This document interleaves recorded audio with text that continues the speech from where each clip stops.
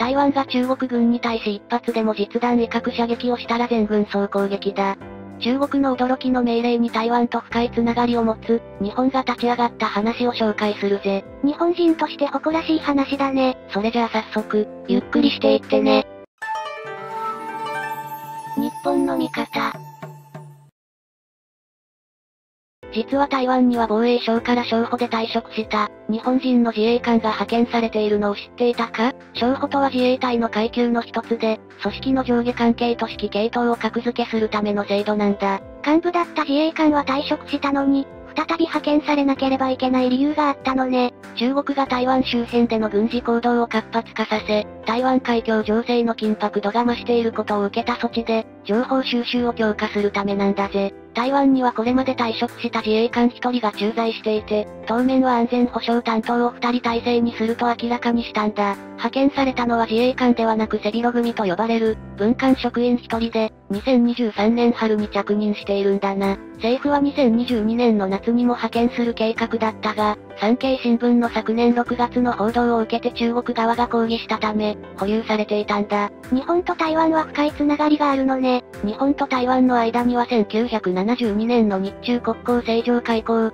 外交関係がなく財団法人や日本台湾交流協会の台北事務所が、事実上の大使館業務を担っているんだぜ。駐在する各省庁の職員は同協会に出向して、民間人として派遣されているんだな。今に始まったことじゃないのね。そうだぜ。これまでも外務省や経済産業省さらに、警察庁や海上保安庁などは現役職員が派遣されているんだ。防衛省は中国の反発を懸念して、現役自衛官の派遣を避けてきたんだな。だが2003年以降に証拠で退職した、自衛官一人を陸海空自衛隊から持ち回りで、安全保障担当主任として派遣してきたんだぜ。派遣しなければいけない理由は何だったのかしら？近年の台湾情勢の緊迫化を受け、台湾当局との意見交換を含め情報収集の強化のため、現役自衛官に格上げすべきだとの声が政府自民党内で浮上していたんだ。防衛省は21年末から検討を始め、現役職員とは駿河文官に留める折衷案を計画したが、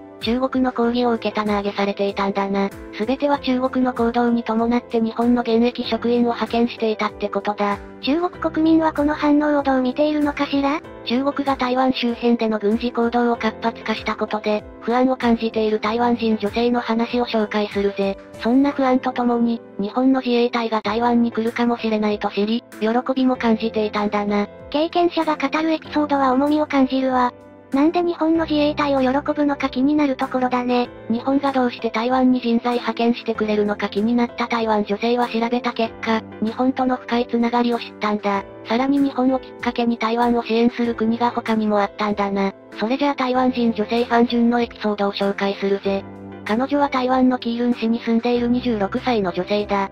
キールンカシシは台湾北部の玄関口で日本統治時代、台湾に渡ってきた日本人の大半はここで上陸の第一歩を遂げた地なんだぜ。出会いと別れの地で、多くの日本人がお世話になった場所でもあるのね。ファンは台湾の記者として働いているが、最近気になる情報を仕入れたんだ。そもそも中国は台湾を自国から分離したせいであり、いずれ中央政府の支配下に置かれるべきと考えがあるため、中国と台湾は仲が悪いんだぜ。でもそう思っているのは中国だけで、ファンをはじめ台湾人にとって台湾は中国の一部なんて考えていないんだな。台湾は自国であり一つの国家であるって思っているんだ。ファンは中国から攻撃を受けたらどうしようって不安になるけれど、中国と戦争が起こるだろうと考えている台湾人は少ないんだな。ファンは中国の攻撃に脅威を感じているけれど、他の台湾人はそこまで危機感を感じていないってことかしら。記者ならではの視点があるのだろうね。台湾民主基金会という、世界中に民主政治を促進することを目的に設立された調査で、国民の反応が明確になったんだぜ。いずれ中国と台湾の間で戦争が起こると思うか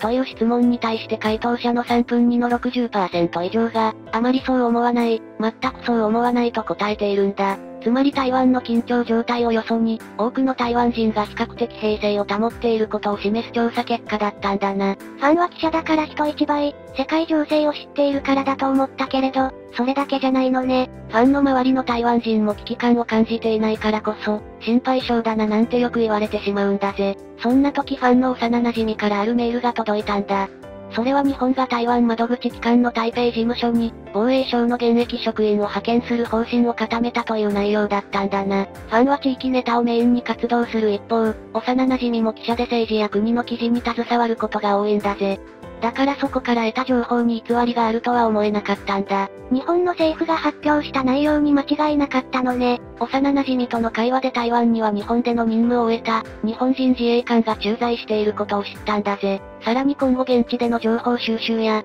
政府各自衛隊との密な意思疎通が必要なことから、現役防衛職員を派遣することになったというわけだ。危機感を感じていたファンにとって朗報でしかなかったんだな。中国の動きに敏感になっていたからこそ、待ってましたと言わんばかり日本人を歓迎してくれたのね。その通りだぜ。中国が台湾周辺での軍事行動を活発化させ、台湾海峡情勢の緊迫度が増しているのは事実で、ファンはとにかく不安を感じていたからな。派遣するのが防衛職員なのね。自衛官かと思っていたわ。そうだ。自衛官ではなく背広組と呼ばれる文官職員の一人で、自衛隊ではないんだぜ。さらに日中関係への影響を考慮し、現役とはするが文官に留める方針で、現役自衛官の派遣は今後の検討課題だと知ったんだな。当面は現在駐在する元自衛官一人と、追加で派遣される二人体制で台湾に駐在しているんだ。日本人の駐在を知り安心したって話かしら？それで終わりじゃないんだな。ファンの不安が拭われるわけではなかったんだ。よくよく考えたら派遣されるのは防衛職員だけで、中国が攻めてきた時に二人体制っていうことに、不安しか込み上げなかったんだぜ。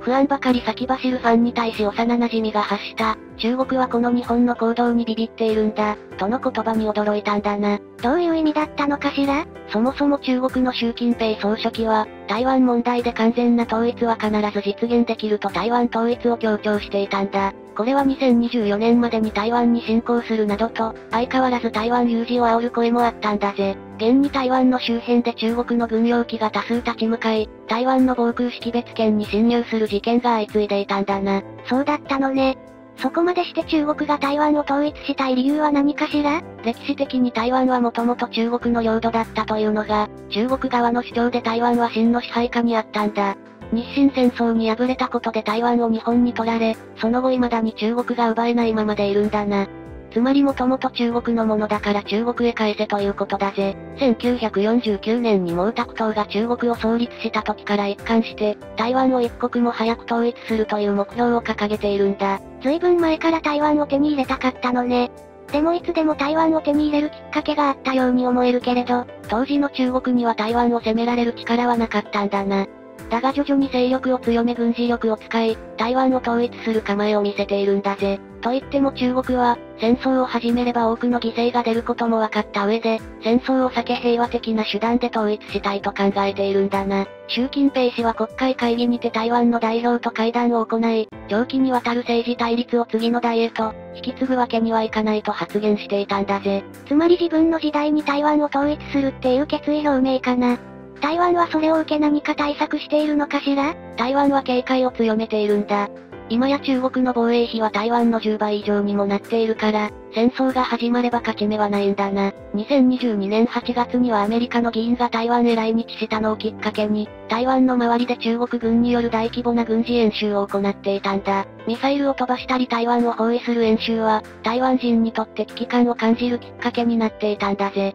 身をもって経験することは大事だね。さらに台湾近海では日本やアメリカ、イギリスやオランダさらにカナダやニュージーランドの6カ国で、海軍による合同演習が行われていたんだな。同時にアメリカも中国に対して苦言を言っていたんだぜ。これまで中国の軍用機が台湾へ侵入する事件が多発していたが、これにより侵入する軍用機は1機だけになったんだ。アメリカも台湾の味方と解釈していいのかしら？アメリカは台湾関係法に基づき台湾に武器を販売しているんだぜ。この法によりアメリカは台湾の自衛を支援しなくてはならないっていうわけだな。だからこそ中国は台湾統一するためには、平和的な解決を望んでいるんだ。台湾の安全保障のために規定を含むアメリカの法律があったのね。昔からある法律だったのかな？1979年4月に制定された法律で、台湾との米火相互防衛条約の終了に伴って、台湾を防衛するための軍事行動の選択肢をアメリカ大統領に認めることができるんだぜ。と言っても台湾の防衛を保障するものではなく、アメリカの伝統的な外交安全保障戦略は、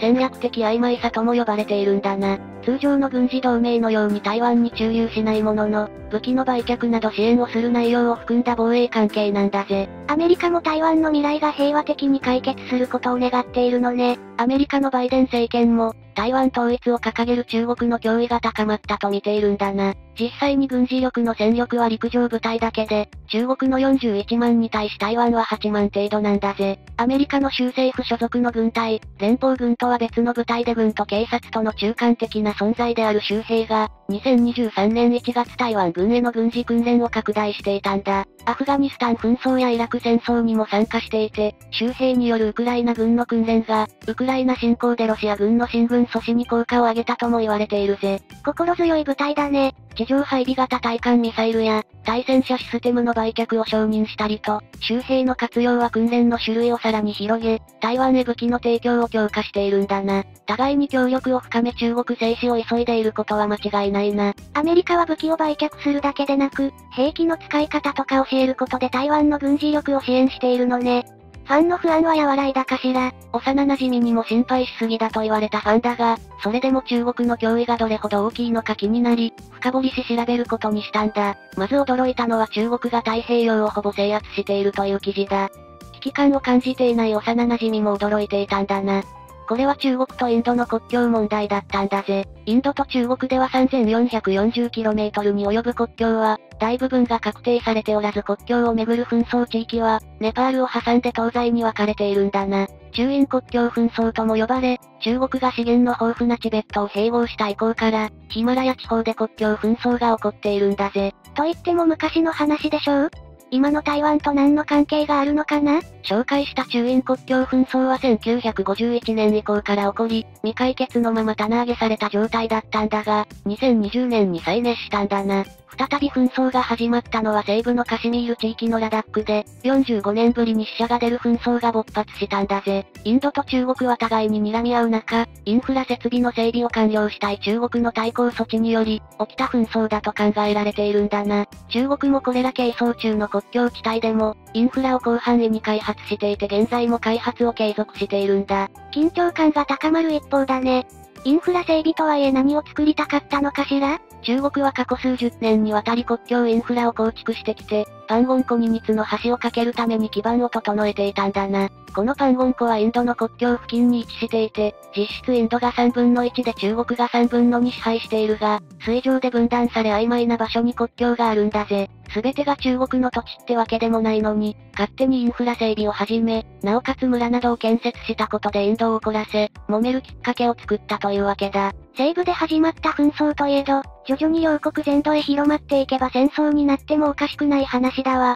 中国軍はインド側への侵入から撤退するどころか、より長期に駐留し徐々にインド側への侵入を行うため、施設を整えつつあるんだぜ。中国はインドとの国境に限らず、南シナ海でも同じ行為を行っているんだな。南シナ海においてスプラトリー諸島やパラセル諸島、マックレスフィールド岩礁群やプラタス諸島、これらすべての領有権を主張しているんだ。さらに付随する排他的経済水域の管轄権も主張していたぜ。領有権をめぐる対立は難しい問題だね。ちなみに最初にこの海域の測量や探検を行ったのは、イギリスでありスペインも領有を主張したことがあるんだ。さらに中国は驚くことに海域に存在する暗礁を埋め立て、人工島を作ってしまったこともあるんだな。やりたい放題といえば正解かしら。南シナ海は現在、中国をはじめ台湾やベトナム、フィリピンさらにマレーシアやブルネイの6カ国が、領有権を主張しているんだぜ。つまり中国のものではないにもかかわらず、主張を続ける経緯を知ったファンはこのまま台湾に、何もしてこないなんて思えないと不安を募らせていたんだな。フ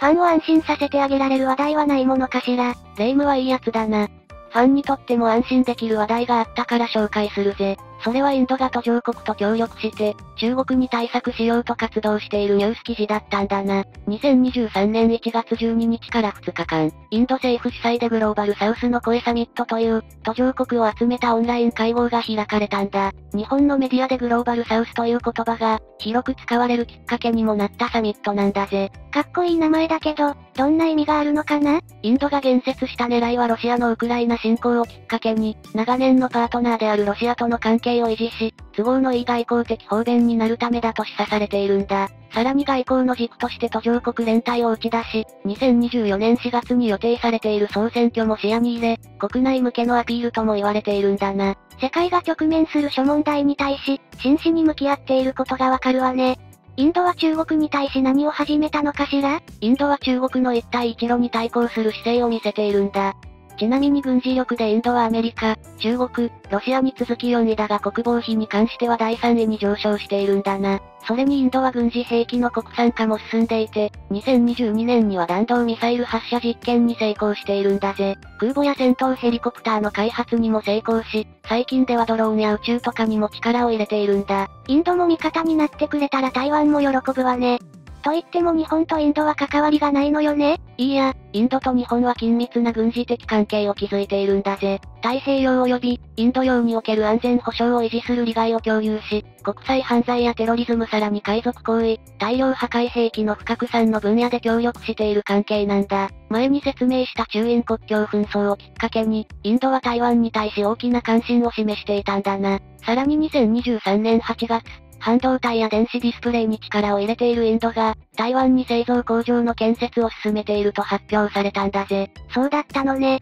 期待が膨らむプロジェクトだね。ちなみに台湾は半導体の先端製造技術は所有していないものの、成熟プロセスや車載半導体技術を有しているんだ。ファンの幼馴染と同様にそこまで不安にならなくても、大丈夫な気がしているけれど何が一番心配なのかしら？ファンはネットでアメリカ情報当局が言っていた話を思い出したんだな。習主席が中国軍に台湾沖縄海域に展開せよ。台湾が中国軍に対して一発でも実弾威嚇射撃を行ったら、全軍総攻撃って命令を出していたんだ。外事警察関係者によれば終始はパニック状態で、国家崩壊危機だと指摘され、事態打開のために発言した内容だと言われているんだな。驚愕の内容で緊迫感が増すわね。台湾に限らず日本にも沖縄海域といい、日本の領海に侵入した事例も起きているぜ。台湾では中国海軍の空母やミサイル駆逐艦など、計6隻が沖縄本島と宮古島の間を南下して、東シナ海から太平洋に航行しているんだな。沖縄東方の太平洋上で軍事演習を実施し、関西戦闘機とヘリコプターの発着艦が、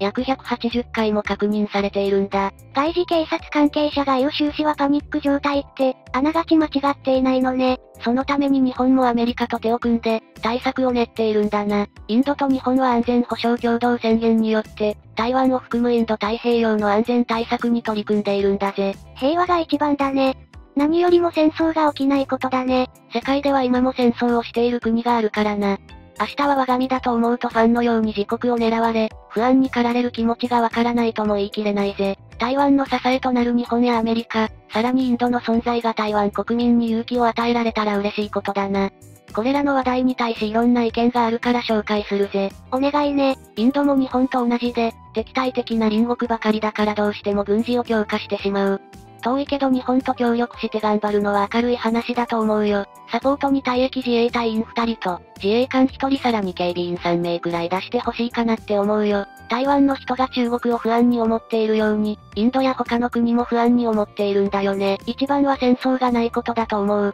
もうこりごりだよ。日本と台湾、さらに日本をきっかけに台湾が他国と繋がり、互いに信仰し合える関係を築けたらいいね。それは間違いないな。だが実は日本と台湾は一度断交したことがあるのを知っていたか ?1972 年日本と中国の国交が正常化したことで、台湾と断交をしていて、日本と台湾の間に正式な国交がないんだ。だが断交しても断交していないような交流をするために、日本は財団法人交流協会、台湾は東関係協会という団体を相互に設立し、交流の窓口があるんだぜ。なぜ断交が必要だったのかしら？台湾が国交を失う背景には、台湾の国際存在空間を狭め、中国が台湾と国交を有する国に有形無形の圧力をかけ続けた結果とも示唆されているんだな。つまり台湾の孤立を図る中国の戦略ってことだぜ。ただ断行したとはいえ東日本大震災の時、台湾は日本に義援金の支援をしてくれたり侵攻を続けているんだ。中国としては他国より一番に中国を頼ってくれると考えていたが、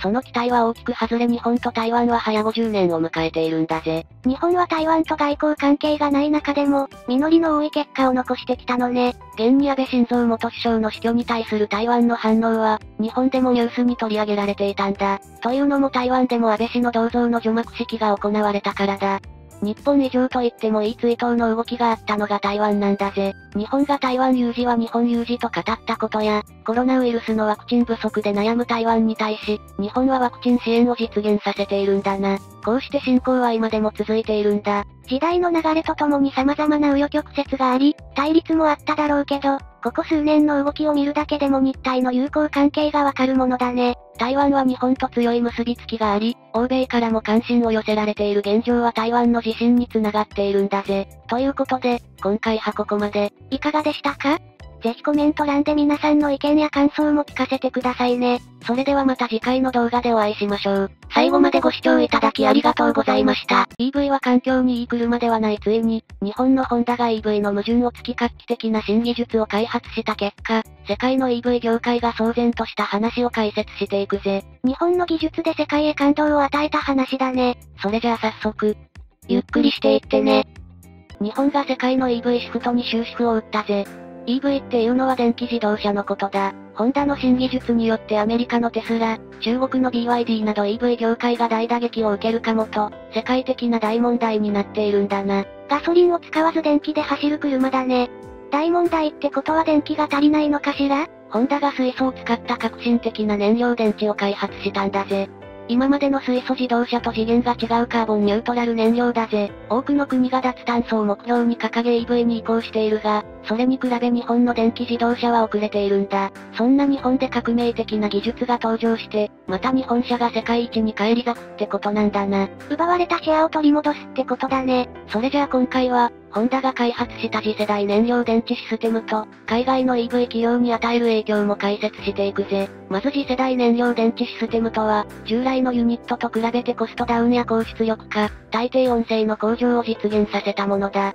水素を燃料にし、エネルギーを熱や運動エネルギーに変換することなく、直接電気エネルギーに変換することが可能なんだな。車はもちろん重機にも搭載でき、発電機としても使えるといった汎用性に長けている代物なんだぜ。身近なところにも使われているのね。乗用車やバスなど移動体を駆動させる電源や工場、オフィスビルや家庭用などの分散型発電機として活用が始まっているんだ。まずホンダが携わってきた水水素事業や、燃料電池自動車 FCV の研究や開発について解説していくぜ。ちなみに年燃料電池自動車を日本国内では FCV と表記するが、海外では FCEV と表記されるんだな。 Fuel Cell Electric Vehicle Fuel Cell Electric Vehicle の略称だ。水素自動車といえばトヨタのイメージが強いわ。コマーシャルの影響かしらね。確かにな。水素と聞くとトヨタを思い浮かべる人が多いかもしれないぜ。現に FCV として MIRAI を市販化して、モータースポーツでも挑戦が続いているからな。だがホンダも水素を使った燃料電池車に手掛けてきた実績があるんだ。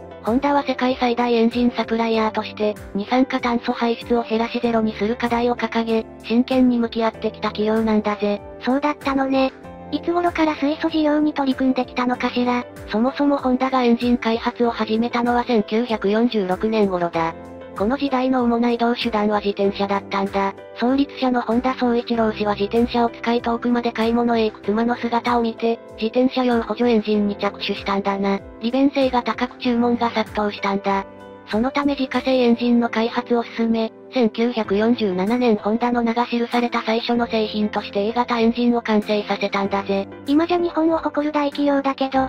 かけは妻への思いやりから始まったのだと知ると感動する話だね。1948年に浜松の小さな町工場から始まり、1953年に農機用エンジン、1954年に臨最高峰とされたレースに出場するなど、数えきれない実績があるんだな。1959年にはアメリカ進出を果たし革命的な歴史を歩んできたんだ。本格的な国際レーシングコースである鈴鹿サーキットを完成させたり、運転操作をサポートするシステムを搭載したり、どれも日本初の実績なんだぜ。多くの困難を乗り越え、確かな経験を積んできたのね。いち早く水素エネルギーの可能性に着目したホンダは、1980年代後半から燃料電池の研究を始め、1990年後半から水素に関する技術開発を進めてきたんだ。走行時に水しか排出しない FCV を究極のエコカーと位置付け、1998年には FCV のプロトタイプを発表し、2002年には世界で初めて販売開始したんだぜ。ホンダは過去30年以上にわたって、水素技術や FCV の研究や開発に取り組んできたんだな。さらに2013年からアメリカのゼネラルモーターズと次世代燃料電池システムの共同開発に取り組んでいるんだぜ。今回の話に取り上げた燃料電池システムだね。後に詳しく説明するが、この共同開発による FCV は2024年に北米と日本での販売が始まるんだ。燃料電池が本格的に普及するとされる2030年頃に向け、コストを抑える目標も掲げているんだぜ。進化し続ける技術だね。電気自動車はガソリン車と比べて維持費を抑えられるんだ。かつエンジンオイルが不要でブレーキパッドの減りも少ないんだな。つまり消耗品やメンテナンス代を安く済ませられるってわけだ。騒音が静かな上、自然災害が起きた時非常用電源として活用できるんだぜ。車種によって変わるが補助金や減税の対象にまでなるんだな。メリットしか感じないけれど、なぜ普及が遅れているのかしら？それはこれまでの FCV がコストの高さが原因で、販売台数が低迷していたからだ。それに実用可能なものの生産量が少なく、ガソリンと対抗できるほど安定しないんだな。この課題を可能にしたのがホンダの新技術だぜ。なんと次世代燃料電池システムによって、以前までの燃料電池システムに対して、コストを13に抑えることに成功したんだ。世界の EV 業界を震撼させた理由がよくわかるわ。どこも成し遂げられなかったことを可能にしたんだね。このシステムは電極への革新材料の適用、セルシール構造の進化、補機の簡素化など生産成功が図られているんだな。さらに退職材料の適用や劣化抑制制御によって、耐久性を2倍に向上させ耐低音性も大幅に向上させているんだぜ。ホンダもかなりの苦労を重ね、従来のディーゼルエンジンと同等の使い勝手や、トータルコストの実現を目指して研究や開発を進めているんだ。2021年4月に行われた就任会見で、三部俊弘社長が2050年に向けたホンダの目指す姿や、取り組みの方向性について語ったんだな。どんな内容だったのかしら ?EV や FCV の販売比率を2030年に20、2035年に80、2040年に100を目指す。そして軽自動車の電動化も進めていくと発言したんだ。要するに2040年にエンジン車の発売を全面的に停止すると表明したんだぜ。ホンダがエンジン分野から撤退するって大きな決断だよね。そうだな。霊夢の言う通りホンダは、エンジンメーカーとも呼ばれ自動車だけでなく、オートバイや船舶用のエンジンなども供給しているからな。世界から見ても、自動車メーカーで3本の指に入るエンジンやと言っても過言ではないほど、圧倒的な技術や開発を行ってきたんだ。だがガソリン車やハイブリッド車から撤退し、世の中に走る車種をすべて、EV や FCV にするってわけだぜ。エンジン屋とも言われるホンダがエンジン生産をやめるなんて、新たな時代の幕開けにも感じるわ。もちろん国内にとどまらず国外でも賛否の声が上がったんだ。ホンダは環境負荷ゼロに向けカーボンニュートラル、クリーンエネルギー、リソースサーキュレーションを3つの柱に方針を示したんだな。具体的にどういうことかしら？二酸化炭素排出量を実質ゼロにし、インフラと連携したスマートな電力オペレーションを行うことで、再生可能エネルギーの活用を拡大していくことだ。そしてカーボンフリーエネルギー活用100や、バッテリーのリユースやリサイクルをはじめ、サステナブルマテリアル使用100を実現する方針なんだぜ。バッテリーの調達は国内産業の発展にも寄与できるよう、日本での地産地消を目指す方針も明らかになったんだな。この決意表明にホンダの社員もびっくりしただろうね。カーボンニュートラルへの姿勢を明確化し、数値的目標を含め表明できる時期と、新社長就任会見とタイミングが重なったんだ。つまり三部社長は言うなら今しかないと、大きな決断を口にしたわけだぜ。カーボンニュートラル化を進める動きは世界でも始まっているからだ。2050年までに温室効果ガスの排出を全体としてゼロとするという目標を掲げているんだぜ。2050年まで逆算すると、もう20年ほどしか開発にかける時間は残されていないわけで、一刻の猶予もないことを社内の従業員への周知の意味もあったんだ。カーボンニュートラル化はよく耳にする話題だけど、日本の自動車メーカーにとって切羽詰まった状況でもあるってことかしら。日本だけじゃなく世界の動きも紹介するぜ。イギリスは2030年にガソリンとディーゼル車、さらに2030年にハイブリッド車の販売を停止すると表明しているんだ。そもそも2035年までと掲げていた目標を2030年にすると前倒しし、カーボンニュートラル化を加速させているんだな。中国は2035年にガソリンやディーゼル車の新車販売を禁止し、PHV を含む EV と HV の割合を50-50にすると目標を掲げているんだ。世界各国で加速する一方だね。他の国も猶予は2035年までとしているのかしら。フランスでも2040年に内燃機関車の販売を停止予定で、中東ではトラックを天然ガス車に変えるなど、世界各国で動きを活発化させているんだぜ。ここまでカーボンニュートラル化が加速している要因は地球温暖化の影響だよね？そうだな。2016年に発行したパリ協定が根底となっているんだぜ。2050年までに達成する大きな目標があるんだ。世界平均気温の上昇を産業革命前比で2度未満に抑え、気温上昇原因である温室効果ガスを実質ゼロまで下げるという方針だな。2050年までの目標なのに、なぜどこの国も2040年までの目標を掲げているのかしら？良いところに気づいたな。仮にガソリンやディーゼル車の新車販売禁止を2050年にした場合で説明するぜ。同年に販売された新車は、その後十数年以上も走行し続けることになるんだ。つまり2051年以降も使用していればパリ協定の実現が難しくなるんだな。そこで各国は新車販売禁止の開始時期を、車の平均的な使用期間を差し引いた2020年から2040年に設定しているわけだぜ。なるほどね。これから新車購入予定の人はこの情勢も踏まえて、検討しなければいけないわね。世界の状況も踏まえ考えると、ホンダの EV への出遅れ感は否めない状況でもあるんだ。というのもホンダは HV が9割と占め、EV の割合はわずかなんだな。だからこそ EV 化が進むほど日本にとって大打撃を受けるのは間違いないんだ。三部社長が一刻の猶予もないと表明したことは大げさな表現ではないんだぜ。三部社長は経営トップに立ち他社と同じことをやっても意味がないし、ホンダらしい新しい価値を作っていく必要があると述べているんだ。電動化の方向性に間違いないが、いつまでも成功体験にしがみついているわけにはいかないんだな。エンジンを手放すことになっても他の分野で、ホンダらしく戦えばいいって戦略がワクワクさせるわね。そうだな。ホンダはエンジン技術がすごいわけではなく、その技術に関わってきた人がすごいっていうほど、信頼関係を大事にする企業でもあるからな。ホンダの大きな武器は世界に通用する高い技術よりも、世の中が求めるものを生み出す働く人たちでもあるんだ。素晴らしい考え方だね。人材は大きな財産であるわね。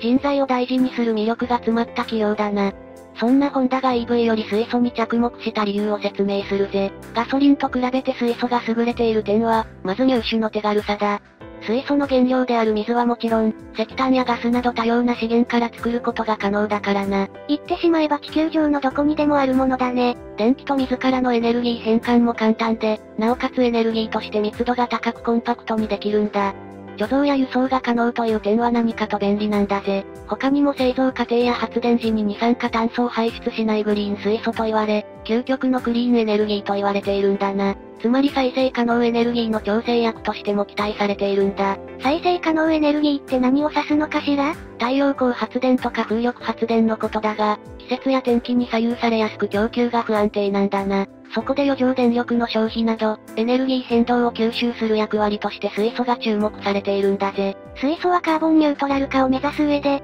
最適なエネルギー源となっているのね。ホンダは水素の可能性にいち早く気づき、30年以上にわたって水素技術の研究開発に取り組んできたんだ。水素の可能性はよくわかったけれど、EV も二酸化炭素を排出しないから、その点は比較にならないわね。そうだな。EV も走行時の二酸化炭素排出がないとはいえ、製造時の排出は避けられないんだぜ。研究者が関わった論文によれば、総合的に見てガソリン車とそれほど差はないとの結果が出ているんだ。製造時を考えると相当な二酸化炭素を排出するからな。それに再生可能エネルギーによる電力の供給は不安定だと言っていたものね。近頃は特に再生可能エネルギーの供給だけで、電気需要の拡大に対応するのが難しいんだ。ウクライナの紛争から始まったエネルギー供給の不安定化により、欧州各国は電気代が高騰しているからだぜ。日本でも電気代が高騰し家計を圧迫しているよな。ガソリンよりも電気代の価格が安定しないってのは、大きな課題に間違いないね。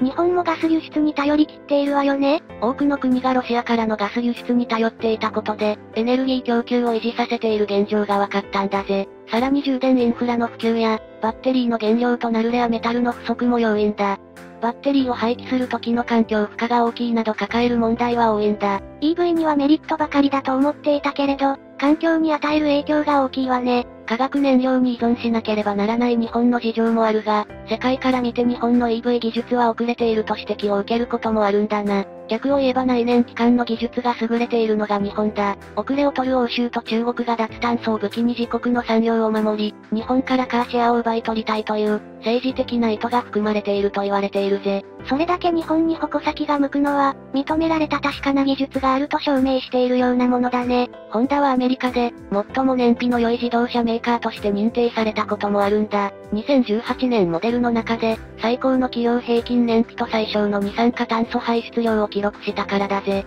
さらに燃料電池自動車 FCX はアメリカ政府の販売認可を取得し、世界で初めて日米のリース販売を実現したんだ。確実に実績を積んできたのね。これまでにホンダが販売してきた燃料電池自動車は2002年の FCX に続き、2008年 FCX クラリティ、2016年クラリティ UL セルだぜ。正直知らなかったわ。無理もないな。これらは研究開発用かリース販売専用にとどまっていて、一般に幅広く販売されることはなかったんだ。2016年クラリキシュエルセルは2019年9月で販売終了し、さらに2021年には燃料電池の乗用車事業からの撤退を発表しているんだな。生産拠点の工場閉鎖に伴うことや、購入コストが高いこと、水素スタンドの拠点数が少ないなど、販売数は低迷していたんだ。日本とアメリカで売り出したものの、世界累計台数は約1900台にとどまっているぜ。販売不振に陥った理由はいくつもあったのね。だが2024年ホンダは大きな方向転換を迎えるんだ。GM との共同開発で次世代燃料電池システム FUEL-CELL を発表したんだぜ。それは今まで搭載していたユニットと比べて、より優れたパワーユニットを開発できたからなんだ。そもそも FCV はエンジンを積まず、水素と酸素の化学反応で走るんだな。騒音がない車ってすごいわよね。現在アメリカで生産予定されている CRV の燃料電池車 CRVFCEV は、2024年日本投入を発表しているんだ。CRV という大型モデルなんだぜ。短時間で水槽充填でき、それだけで長距離走行可能であると同時に、家庭や街中で充電できるプラグイン機能を追加したモデルだ。国内で誰もが手に入れられる4代目の FCV になるんだね。その新型 FCV に搭載されるのが次世代燃料電池システムなんだぜ。これまでの問題点を全て解決し、発電機としての使用など他の可能性も見出したっていう新技術ってわけだ。これが EV シフトの流れに終止を打ち、日本車が世界シェアを取り戻す原動力になるとされているんだな。日本の自動車業界にとって明るい話題だね。次世代燃料電池システムが話題を集めた理由を説明するぜ。まず従来システムから FC セルを一回り大きくすることで、発電能力の向上や量産性の改善を図ったんだ。さらに従来の車種と比較してコストを3分の1に削減し、耐久性を2倍、耐低温性も大幅に向上させたんだな。開発にかけた思いは計り知れないわね。一番は高い出力が得られるようになったという点だ。これまでカーボンニュートラルの実現は、乗用車までに限るとされていたんだぜ。これは物流を支えるトラックや建設関係の重機で見れば、バッテリーで動かすというのは現実的ではなかったからだ。仮にトラックや重機を電気で動かすことができたとしても、出力を上げるとその分多くの電力を消費するわけで稼働時間が制限されるんだな。かといってバッテリーを多く積むと、その分全体が重くなり稼働効率が落ちたり、バッテリーを充電する時間が長くなったりするんだ。なるほどね。課題は多いわね。しかし今回ホンダが開発した次世代燃料電池システムなら、並列に何機も繋ぐことでより高い出力を得られるんだぜ。それに水素の充填ならすぐに稼働できるから、EV のように長い充電時間をかける必要がないんだ。出力の問題を解決した上で、環境にも優しい水素ならではの利点も活かしているんだぜ。どこよりも早く水素事業の研究を進めてきたホンダだから、成し遂げられる取り組みだね。エンジニアとして撤退するときは大きな賛否があっただろうけど、これまでのホンダの苦労が報われる時がついに来たんだな。またパワーユニットとしてだけでなく、発電機として使用もできる汎用性の高さが魅力だ。実際にホンダ社内の一部研究機関では、非常用電源としてこのユニットを稼働させることが決まっているぜ。コマーシャルでよく耳にするイスズのトラックとホンダは、燃料電池大型トラックの共同研究契約を締結しているんだ。近い将来の話かしら？構築を進めていて、モニター車を使った行動での実証実験を2023年中に開始予定なんだぜ。これでユニットの優位性が確立されれば、ホンダが掲げるカーボンニュートラル化は絵空ごとではなく、より現実的な目標になってくるだろうな。ホンダの新技術はさらに素晴らしいところがあるんだ。実はこのパワーユニットを他企業向けに販売する計画もあるんだぜ。他社の乗り物や重機などに搭載することで、他社のカーボンニュートラル化をサポートできるようになるんだ。自社販売だけじゃなく他社でも使えるように、深く考えられているのね。さらに新ユニットの箱は白地でシンプルなデザインをしていて、供給先の要望に応じて色や文字などをオーダーできる方向で現在調整されているんだぜ。他にも JAXA と連携して、宇宙産業へも進出するという計画もあるんだな。ニュースで大きく報道されることがなく、水素の可能性を知らない人も多いだろうが、私たちの想像以上に先を見据えたビジョンを掲げているのがホンダだぜ。ホンダが開発したカーボンニュートラル燃料や次世代燃料電池システムは、世界の自動車産業に大きな影響を与えることになるな。世界が注目するホンダの戦略は見事だわ。今後のカーボンニュートラル事業に期待したいわね。ということで、今回はここまで、いかがでしたか？ぜひコメント欄で皆さんの意見や感想も聞かせてくださいね。チャンネル登録もぜひよろしくお願いします。最後までご視聴いただきありがとうございました。それではまた次回の動画でお会いしましょう。